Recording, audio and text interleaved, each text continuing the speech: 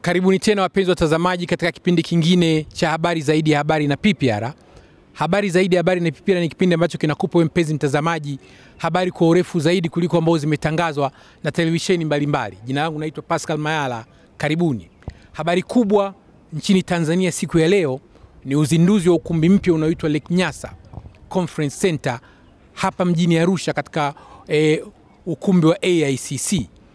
Uzinduzi huu umefanywa leo na waziri wa mali asili na utalii Profesa Jumanne Magembe. Sasa hiki ni kipindi maalum chikikuonyesha uzinduzi huo, lakini pia tutatembelea katika baadhi ya mabanda na kuonyesha wajasiriamali ambao wameshiriki kwenye uzinduzi huu. Kipindi hiki mpenzi mtazamaji, na sisi watu wa PPR ni moja ya zile production houses chache sana nchini Tanzania ambayo tunakurekodia kipindi leo leo na kipindi unakiangalia leo leo, kama kipindi ambacho mnakiangalia saa hizi tumekirekodi leo asubuhi pale mjini Arusha, yaani ina maana leo leo tarehe ya leo leo tarehe ishirini. Siku ya leo leo Alhamisi tuko hapa Arusha na leo leo jioni nyinyi kwenye TV zenu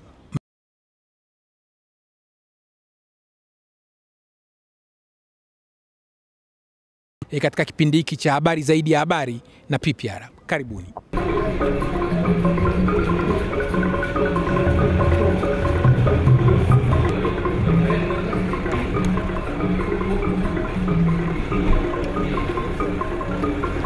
naomba tushuhudie e, utepe ukikatwa ukizindua wa Lake Nyasa Hall.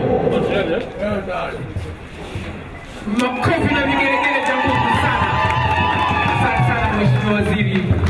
Mali Asili na Utalii Profesa Jumanne Magembe ametufungulia rasmi ile Nyasa Hall na sasa anakwenda kufungua ile plakiu kile kibao hapo pia waandishi jamani, naomba tupeane nafasi ili wote tuweze kupata hizo shoti nzuri kabisa.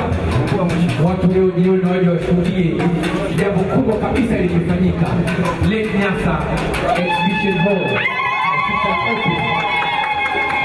Kanyata, sawa kabisa jamani, makofi na vigelegele. Zawadi maalum na inasema mheshimiwa inasema Mheshimiwa eh, Profesa Jumanne Magembe, waziri wa Natural Resources na Tourism, asante sana kwa kufungua ukumbi wa Ziwa Nyasa leo tarehe ishirini mwezi wa saba mwaka elfu mbili kumi na saba na background ya ukumbi wa Ziwa Nyasa unaonekana. Wapigeni makofi sana watu wa AICC. Sana.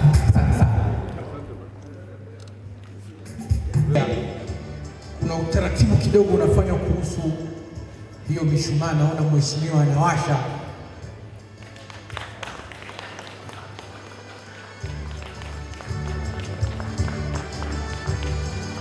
Naomba tupige makofi ya mishumaa kuwaka. Mheshimiwa kata, Mheshimiwa kata,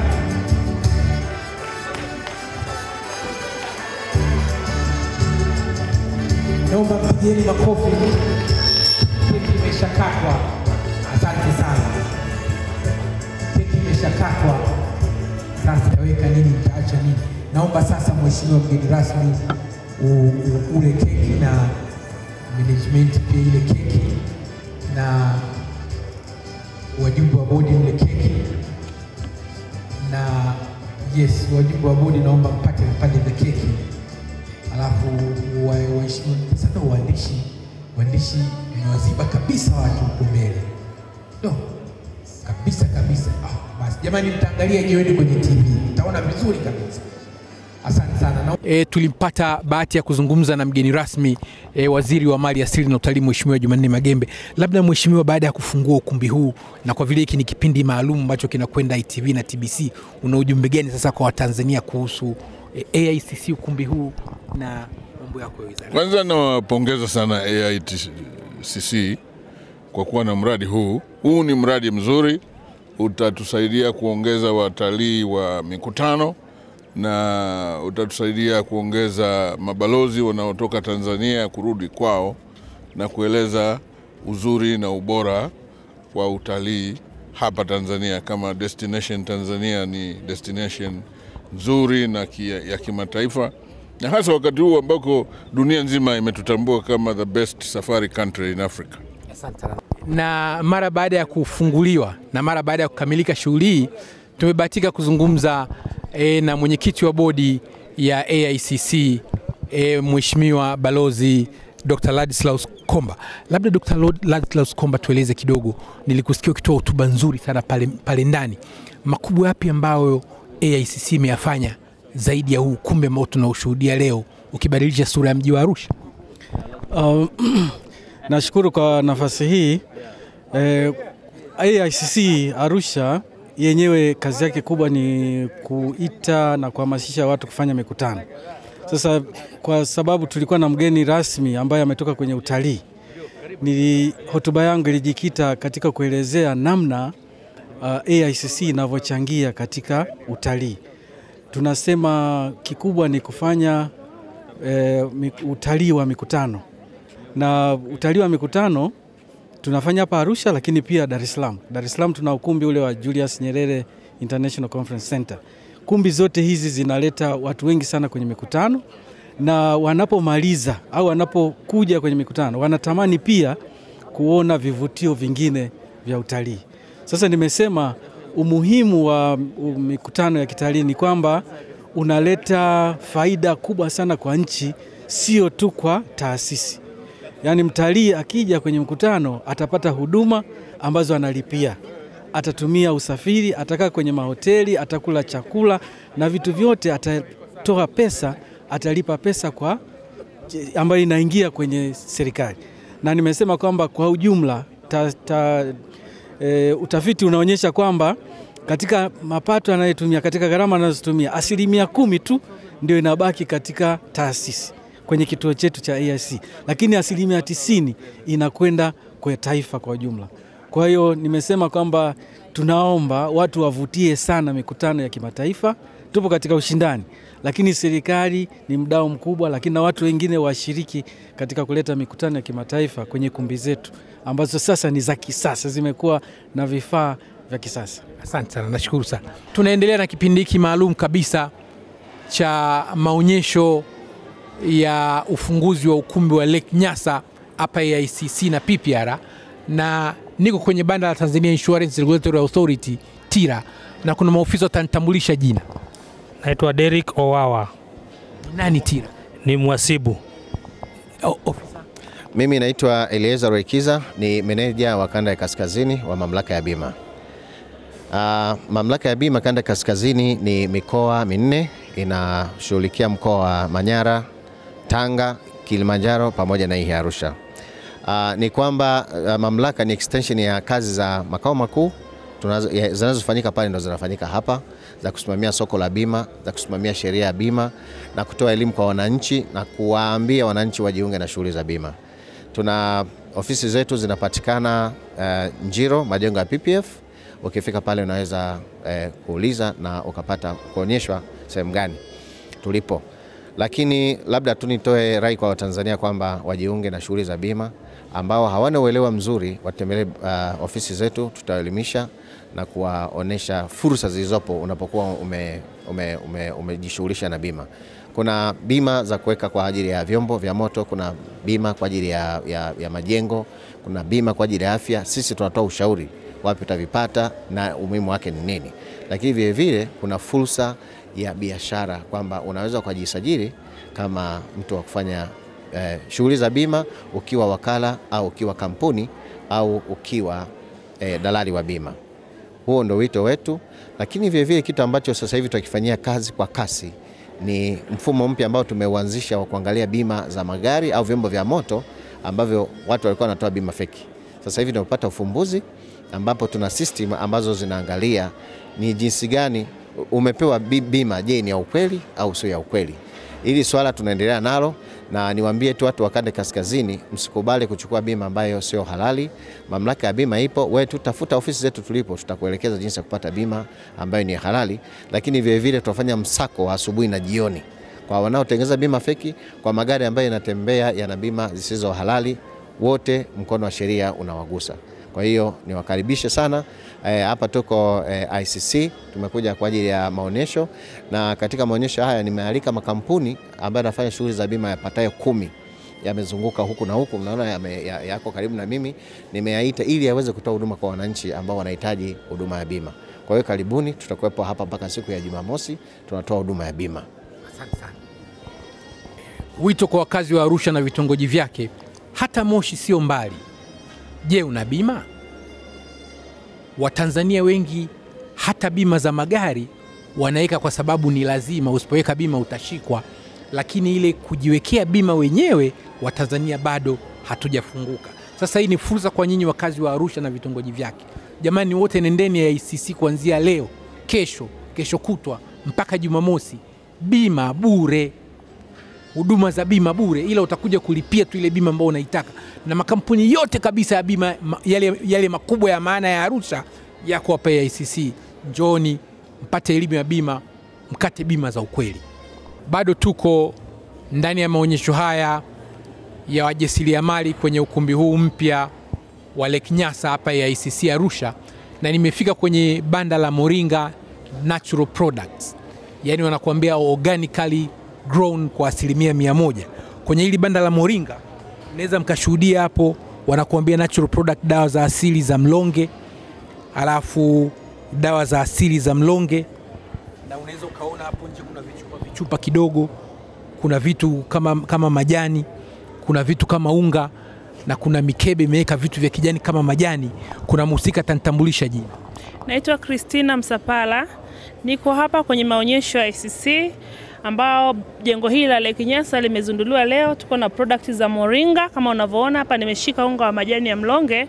Unga wa majani ya mlonge unasaidia kuondoa sumsumu mwilini, unaotumia kama virutubisho na lishe, kwa sababu inakusaidia kutengeneza kongosho ili mgonjwa usipate sukari ama mtu wa kawaida usipate magonjwa nyemelezi. Hivyo inasaidia kutibu malaria sugu, vidonda vya tumbo, ina normalize magonjwa ya kisukari na pressure. Pamoja na watoto wadogo unaweza kuwapatia, wamama wanyonyeshao wakapata maziwa ya kutosha, kwa sababu ni virutubisho na lishe. Vile vile tuna mbegu za mlonge, hizi watu wanatumia kwa ajili ya kutibu matatizo ya pressure. Mbegu hizi tumezikausha na tumezikoboa tayari kwa ajili ya matumizi ya binadamu. Mbegu hizi unatafuna tatu mara mbili kwa siku ama mara tatu kwa siku, inategemea na kadri ya mgonjwa jinsi alivyo.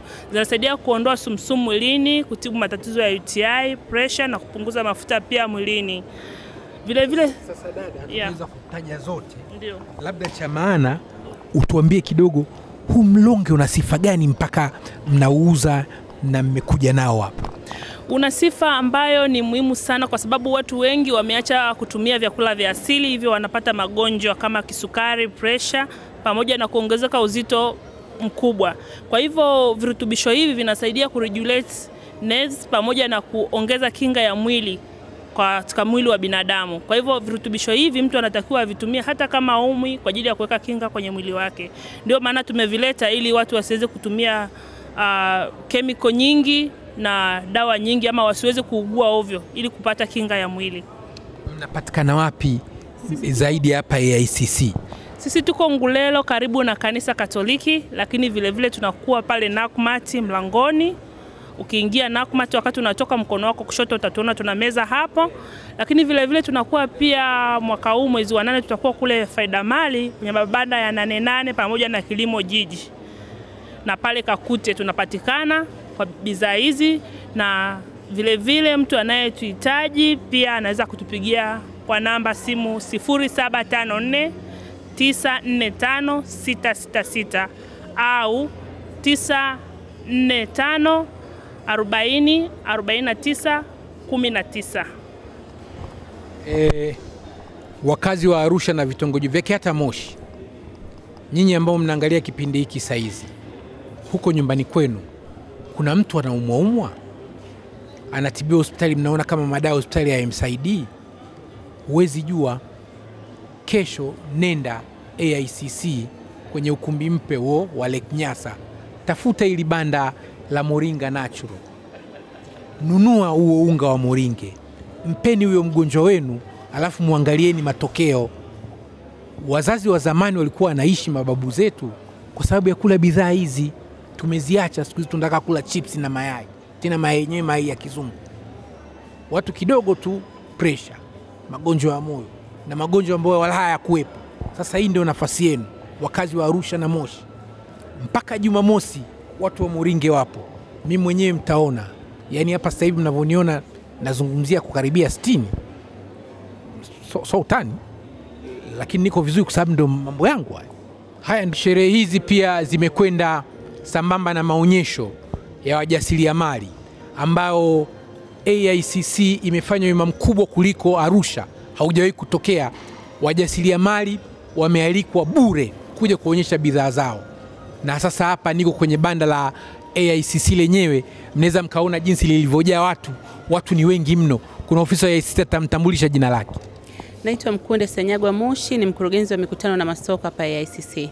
Mkunde, hebu tueleze kidogo kuhusiana na AICC na hiyo kurugenzi yako ya mikutano na masoko, na kumalizia hapa, mmekuja kufanya nini na kwa nini mnafanya wema wa watu kuja kufanya maonyesho bure? Ah, hili ni jengo letu jipya na tuna, tumefanya hivi kwanza kulitambulisha kwenye soko, lakini pia AICC tuna, tunafanya shughuli za, za kusaidia pia wajasiriamali uh, wafanyabiashara wa Arusha, wafanyabiashara wa Tanzania, tunawapa fursa kwanza wakati wa mikutano kujitangaza na kuleta bidhaa zao na kuuza kwa wageni wale wa mikutano. Lakini pia sasa, kwa sababu tuna chombo hiki, tumesema kwamba kwa kuanza tufanye haya maonyesho bure. Kwa hiyo tukashirikiana na TCCIA Arusha Chamber of Commerce, tukashirikiana na TIRA, tukashirikiana na SIDO waka, wakatupa wajasiriamali ambao wamesajiliwa kwenye hizo hayo mashirika niliyoyataja ili waje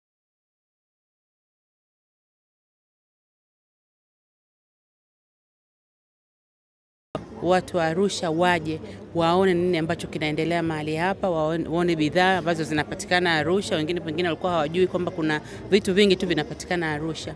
Kwa hiyo kwa kufanya hivi ni kwamba tuna uh, jitangaza AICC na jengo letu jipya la ukumbi wa Lake Nyasa, kwa maana kwamba litafanya maonesho kama haya, litafanya maonesho mengine mbalimbali mbali.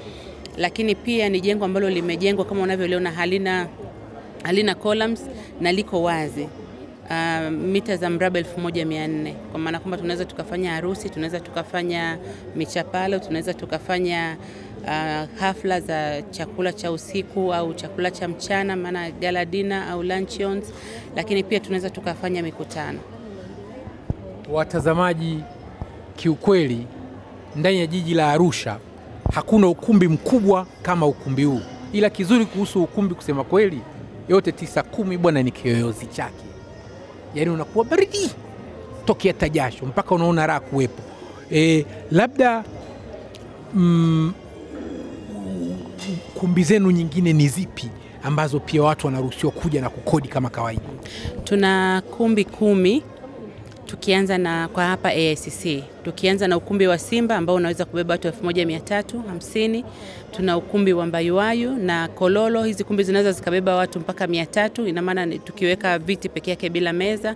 Tuna kumbi ndogo ndogo za e, Watausi ambao unaweza ukabeba watu 150. Tuna ukumbi wa Twiga, tuna ukumbi wa Manyara na kumbi zetu zote zina vipaza sauti, zina unaweza ukazipanga kwa, kwa jinsi tofauti tofauti. Ni kama huu tu, isipokuwa huu sasa ni, ni mkubwa zaidi na height yake unaweza ukaiona kwamba ni, ni, ni iko juu, kwa hiyo ni, ni rahisi zaidi kufanya shughuli mbalimbali AICC. Ukitaka kufanya mkutano wako na jioni ukawa na, na, na gala dina, tunaweza tukafanya mahali hapa. Ukitaka kufanya harusi, ukumbi huu hapa. Ukitaka kufanya maonyesho hata ya magari, kwa sababu ukumbi ulivyojengwa umewekewa sakafu ambayo ni ngumu ina, tunaweza tukafanya maonyesho mpaka ya, ya, ya magari, maonyesho ya matrekta na maonyesho ya vitu vizito kwenye ukumbi huu, lakini pamoja na hizo kumbi zingine. Maanake ni kwamba tunaweza tukafanya maonyesho hapa, lakini pia tukafanya um, kama madarasa au semina katika hizi kumbi zingine ambazo tum- tumezitaja. na watazamaji, kuna watu wengi wengi unaweza ukawaona hapa ndani. Kuna maofisa wengine wawili wa AIC, nitamrudisheni majina. Uh, Kwa jina naitwa Linda Nyanda, ni Principal Marketing and Research Officer wa hapa ICC. Kwa jina naitwa Ekaeli Lokeru Mbise, ni Conference Services Assistant hapa ICC. Watu wanasema nini kwenye banda lenu wakija? watu wa Arusha kwa kweli wamevutiwa na wanaona ni suluhisho kwao, na kwa wengine wanaona ni kama kitu kigeni kwa Tanzania, kwa sababu walishazoea maonyesho yanakuwa stressed kwao, sehemu ina joto, sehemu ina jua na nini, lakini kwa hapa kwa kweli wame appreciate. Ndani ya jengo limetulia, kuna full AC, watu wanasikilizana taratibu, mziki mololo na security iko ya hali ya juu kwa kweli. Jamani, si hata mimi mnaniona leo nimeweza kuvaa tai dasi, mnanionaga tu mimi na fulana. Sio kwamba tunapenda, ndio hali. Ukienda mahali huwezi kuvaa tai, ukienda mahali unaweza ukavaa tai kama hapa tunavaa tai. Lakini kuna banda nimefika, nimekuta matangazo kama unavyoona, dawa ya heshima nyumbani. Jamani, dawa ya kurudisha heshima nyumbani, dawa ya kupunguza kitambi, dawa ya mifupa, dawa ya UTI, dawa ya fungus, dawa ya kuzuia kikojozi, dawa ya vidonda vya tumbo. Na watazamaji hapa mnaweza mkaona dawa mbalimbali za kiasili, yaani hizi ni dawa za kiasili, na kuna mhusika hapa atanitambulisha jina. Naitwa Benedict Wilson kutoka Arusha. Tunajihusisha na masuala ya tiba pamoja na kutibu vitu vingine mwilini, lakini hizi ni dawa ambazo zinatibu vitu vingine mwilini ikiwemo vidonda vya tumbo, lakini pia dawa za meno kwa watu wenye matatizo ya meno ikiwemo allergy, fangasi na vitu vinginevyo. Hapa nimeona ume, umesema mpaka kuna dawa kurudisha heshima nyumbani. Ndiyo. Kweli dawa hiyo ipo ya kurudisha heshima nyumbani? Hiyo dawa ya kurudisha heshima nyumbani pia ipo kwa watu ambao wana matatizo kama hayo, hapo pia tunadili nazo, lakini pia kuna vitu vingine tofauti tofauti tofauti na, na hizo dawa za kudili za za heshima nyumbani. E, watazamaji, kuna kitu Watanzania wengi hawajui. Hizi dawa za asili ndio hizi hizi wazungu wanazitengeneza zinageuka dawa za hospitali. Kwa hiyo wanachofanya watengenezaji wa dawa za asili wanazipata zikiwa katika uhalisia kabla zijapelekwa kutengenezwa viwandani na kugeuka dawa za hospitali. Labda wewe mtengenezaji wa hizi dawa asili au tiba mbadala, kuna tofauti kati ya wewe na hao waganga waganga wa kienyeji wengine mpaka wanakuambia kuna dawa za kupata pesa, dawa za mapenzi. Kuna tofauti gani kati ya mitishamba na zile kama longolongo hii? Uh, utofauti wake upo ni mkubwa. Utofauti wake kwamba sisi wengine pia tunaenda hata darasani pia kwa ajili ya kupata elimu ya kutosha kuhusiana na hivi vitu, lakini pia tujihusishe na masuala ya ramli, kwamba mtu aje apigiwe ramli aanze kuwekewa masharti mengine. Hizi ni dawa kama zilivyo dawa zingine, utofauti tu kwamba hizi dawa zetu hazijamikisiwa na, na kemikali ya kitu chochote, zipo katika uhalisia wake na zinafanya kazi vizuri kabisa. na nimeona watazamaji mnaoangalia wale wakazi wa Arusha na Moshi na vitongoji vyake, ndani ya nyumbani kwenu kuna mtoto yote anakojoa kitandani? Mtoto akiwa anakojoa kitandani, jamani, msiwe mnamchapa mkifikiri labda ni mjinga, kuna kukojozi fulani ni ugonjwa. Huyu jamaa amesema ana dawa. Una dawa kweli ya kuzuia watu kukojoa kitandani? Ndio ipo kuanzia miaka mitano na kuendelea, sio watoto tu, hata watu wazima. Kuna watu ambao wana miaka zaidi ya 30 wanakojoa bado vitandani. Dawa zao zipo na zinafanya kazi vizuri, anatumia siku tatu, ndani ya siku tatu na kuendelea. Sidhani kama hilo tatizo la kukojoa kitandani litakuwa lipo. Jamani, kuna vitu vingine tuambiane kweli, lakini tusicheke. Ni matatizo ya dunia. Yaani unakuta mtu ni mtu mzima anakojoa kitandani, sio kwamba anapenda jamani, ni kama ulemavu mwingine wowote. Kwa hiyo tusilaumu, lakini ukisikia kuna dawa sasa, jamani, njoni wakazi wa Moshi na vitongoji vyake. Huwa unapatikana wapi baada ya maonyesho? Baada ya maonyesho haya napatikana hapa hapa hapa Arusha Kijenge Juu. Ukifika hapo unaweza ukapiga simu kwa kutumia namba zifuatazo kwa Vodacom 0769581529, lakini kwa Airtel ni 06 0687983647. Watazamaji, mkiona kitambi kimepungua, mjue na mimi nimechukua dawa ya kuzuia kitambi. Niko sehemu nyingine tena hapa sasa, kuna vitu vimeandikwa aga. Ukiangalia unaona kwa haraka haraka, ninaona kuna liwa ya manjano, kuna aloe vera, kuna lemon na kuna vitu kama mafuta ya nywele, kuna mafuta ya parachichi, kuna mafuta ya mawese. E, Kuna mama atanitambulisha jina. Mimi najiita Aga Natural Products kama kampuni yangu, niko Arusha, Tanzania, Kijenge ya Juu. Aga hapa umetuletea nini? Naona vitu vingi vingi. Hebu tueleze kidogo kuhusu hiyo aga na ni vitu gani umevileta? Ah, sisi tumewaletea sabuni za mimea mbalimbali. Tuna sabuni, tuna sabuni za aliwa na manjano, lakini pia tuna sabuni ya kitunguu somu na maji, inatibu aleji zote kwenye ngozi. Tuna sabuni ya limau na matango, inasaidia kwa ngozi yenye mafuta mengi, chunusi na madoa meusi. Tuna sabuni ya aloe vera kwa ajili ya muwasho, upele, mba na fungus. Tuna mafuta ya nywele. Hii ni inakuza nywele, kufanya nywele zisikatike na kuondoa mba, lakini pia inatibu magonjwa mbalimbali ya ngozi, iwe mashilingi, mwasho aina yoyote na fungus. Lakini tuna kirutubisho bora kwa ngozi yetu. Kwa nini? Kwa sababu hii inarekebisha ngozi kwa waliopata aleji mbalimbali, kungua na jua, mabaka mabaka na madoa meusi kwenye ngozi. Hebu tutumie vitu vya asili kwa ajili ya kujenga ngozi zetu na kuzirutubisha badala ya kutumia vitu vyenye kemiko. Hizi bidhaa hazina kemiko yoyote, mtu yoyote anaweza kutumia kwa rika yoyote, mtoto, mtu mzima, wadada na wakina baba. Karibuni sana, bidhaa zetu ni nzuri. Eh, zi... labda, labda kwa haraka haraka hii ya kurudisha ngozi vizuri, hata wale wadada ambao wamechubuka kwa mikorogo itawasaidia saidia kidogo. Haya mafuta ya mawese yanasaidia sana, na hasa ndo lilikuwa lengo langu kuu la kuzalisha mafuta ya mawese kwa ajili ya watu waliopata aleji mbalimbali na waliotumia mikorogo ambao wanaungua na jua. Hii ni kirutubisho ambayo kinairekebisha ngozi yako na kuirejesha kwenye uasili wake. Kwa hiyo ukitumia bidhaa hii utaipenda. Kwa nini? Kwa sababu ngozi yako itabaki katika hali nzuri. E, wakazi wa Arusha, Moshi na vitongoji vyake, haswa kwetu sisi wa baba wa baba ambao mnaangalia kipindi, je, ukiangalia ngozi ya mama unaridhishwa nayo? Mama alikuwa anajipiga mkorogo au mpenzi wako ili apendeze, matokeo yake ndio hayo umeyaona. Unaona aibu kumwambia sasa arudishe ngozi yake ya asili? Sasa wale wote ambao mnajua kabisa kwamba jamani, ngozi zetu zimeathirika au na mikorogo ama na kuungua au hata chunusi au wengine hata kama ni vipele anajikuna mno anakuwa kama ngozi na madoa madoa. Jamani, suluhisho ni hapa ya ICC kwa huyu mama ambaye ameleta vi- vi- vipodozi natural kabisa. Labda kwa kumalizia, unapatikana wapi ili watu sasa waanze kuja na unapatikanaje? Mi niko kiwanda chetu kiko Kijenge ya juu, lakini bidhaa zetu zinapatikana karibu Tanzania nzima. Tunasambaza kwenye maduka ya vipodozi na supermarket kwa Dar es Salaam, Kariakoo, kule karibu na Big Boni, ukienda Mwanza, yani karibu mikoa yote. Kwa nini? Kwa sababu bidhaa zetu zinapendwa sana, ni nzuri na zinawasaidia watu. Watazamaji, kama mliwasikia ma sponsors ni pamoja na mtu anaitwa Lavikato Catering Services.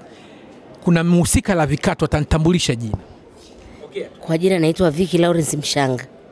Vicky Lawrence Mshange, hebu tueleze kidogo Lavikato ni nini na unatoa huduma gani? Kwa sababu nimeona umetajwa kama sponsor wa, wa hii shughuli ya leo.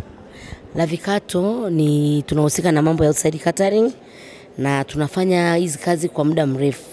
Hii kazi tulianza toka elfu mbili. Sasa hivi tumefikia kiwango ambacho tunaweza kufanya event sita kwa siku, wedding sita, na tuna uwezo wa kuweza kufanya event ya watu kama elfu tatu ndani ya one hour, na tukaweza kufanikisha kila kitu. Hapa kwenye banda lako ni nini? Urembo urembo? Hizi ni display zetu, say kama glasses, tuna variety, tuna sahani, kila kitu ambacho tunavitumia kwa ajili ya kazi zetu. Lavikato mnapatikana wapi? Mnatoa huduma Arusha tu ama mna branch kama Moshi, mtu akitaka da? Kwa sababu chakula chenu nimekiona kitamba la Ah, Sisi tunasafiri tunaenda mikoani, lese Mwanza, Dodoma, Tanga, even da Mnapatikana wapi baada ya hapa? Baada ya maonyesho haya tunawapata wapi Lavikato? Ah, tunapatikana pale makao mapya karibu na court, ndio tuko pale maeneo ya kazi na ofisi yetu iko pale pale. Nimefika mahali panaitwa Eminent Business Group. E, our Eminent Business Group, kuna dada atanitambulisha jina. Dada mwenyewe yuko vizuri ukimtazama. Naitwa Safiri Sase Ndama. Um, mimi ndo managing director wa Eminent Business Group in Tanzania. Um, it's a company which is based in Kenya, but they have opened a sister company here in Tanzania and we have a branch in Dar es Salaam. Now we are opening another branch in Arusha. Kazi yenu nyinyi Eminent mnafanya nini haswa? Tuko na kazi tatu. Tunafanya the first thing tuna deal with advisory which is mainly consultancy. Then we deal with strategic corporate communication which is we do PR and business planning and then we have business media which we do launches, we do business media events and awards. Yes. Na mtu akitaka kuwapata anawapata wapi? Um, kwa sasa hivi hapa Arusha tunataka kufungua ofisi hapa AICC. And kwa Dar es Salaam tuna ofisi Ohio Street, jengo la sijajua kiungu gari but yes. Okay. hapo utakata. Utaishia tu Ohio Street Yes. na, na, na, na contact tunawapataje? Contact um, kwa, kwa Kenya, our website. Our website is you go to Google and you go www.eminentbusinessgroup.com and everything will come in hapo. Watazamaji, mi nimefurahi kwanza kwa sababu huyu dada she looks young, anaongea very confident. wa tanzania tuna makampuni. We, are you a Tanzanian or Kenyan? I'm definitely Tanzanian, full 100% Tanzanian. Yes. Na where did you get this confidence mpaka unakuwa ni eh, managing director wa kampuni? Um, I can first of all I need to thank my parents because they've always put effort on me and you know always give me courage. My family they always give me support. My friends, and I think that's the kind of person I am. I always have courage, and I wanted to do something on my own, and that's what I'm trying to do. Yeah, jamani wa dada wa tanzania tuwe kama huyu dada. Ana kampuni yake anazungumza mwenyewe. Kampuni ya kutoa ushauri na mambo ya piara watanzania wengine wengi zaidi tuendelee kujitangaza ili kukuza biashara zetu. Naamini huyu dada will be big very soon. Watazamaji kwenye maonyesho haya pia tumekutana na watu wa aina mbalimbali lakini mmoja wa mtu ambaye nilimfurahia sana ni aka katoto ambaye nilikaona tangu mwanzo. Kwanza kako very smart kanaonekana kako vizuri. What's your name? Ethan. ethan. Unaitwa ethan nani? Ethan Elvis Musiba. E- ethan elvis musiba. Look at the boy how smart he is. Ethan what are you doing here? Umekuja kufanya nini hapa? Uh, nimekuja ku, ku nani kumsaidia anko wangu na kujua nani mambo mambo mipya. hapa ndani umeona nini ethan? Yaani katika hii leo umeona kitu gani vitu gani ili watu wengine kesho na kesho kutwa waje? Uh, nimeona vitu vingi sana kama nimo, nimeona i, nimeona watu waki, wakiwa wanafanya kazi. Nikaona watu wakiwa na explain. Naona watu wakiwa nauza hicho bado tunatembelea maonyesho haya ya uzinduzi wa ukumbi huu wa Lake Nyasa hapa ya ICC na nimeingia kwenye banda la Pride Tanzania. Pride Tanzania wa jamaa wako vizuri mno kwa kuwezesha wajasiriamali. Sasa kwenye banda la Pride mnaweza mkaona wameleta vitu vizuri sana. Kuna zile picha, kuna mapambo mapambo kama unavyoweza ukaona, kuna asali na kuna watendaji kazi, na kule nyuma unaweza ukaona zile nguo nzuri nzuri nzuri kabisa za Pride ambazo ziko. Mtanitajia majina. Kwa jina naitwa Ameni Lema, ni mteja wa Pride. Naitwa Flora Baitwa, ni mteja wa Pride. Naitwa Victoria Bruno, ni meneja wa Pride tawi la Arusha. Hebu tuelezeni kidogo, kwanza mmeleta nini kwa kifupi, kwa, kwa dakika nusu nusu? Nimeleta nguo, nimeleta picha na urembo wa kina mama kama huu hapa.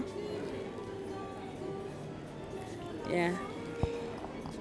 Nimeleta asali kama unavyoiona eh. Asali mbichi. Meneja wa Pride Arusha, tueleze kidogo kwanza, mwitikio ukoje? Hmm, kwa kweli mwitikio hapana. E, meneja wa Pride ya Arusha, tueleze mwitikio ukoje? Ah, Mwitikio sio mzuri, ni mdogo sana sana sana. Sasa sielewi, labda kwa sababu ya mazingira au watu wa kutangaza vizuri kwamba kuna maonyesho katika banda ile au sijui.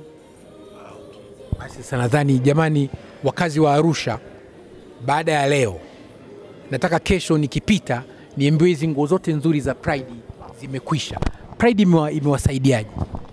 Kwa kweli Pride limetusaidia sana, imeniinua kibiashara, imenipatia mtaji ambao umeniwezesha kufanya biashara. Nilianza nilianzia chini, lakini sasa hivi nimeshafika eneo ambalo ni zuri sana kibiashara.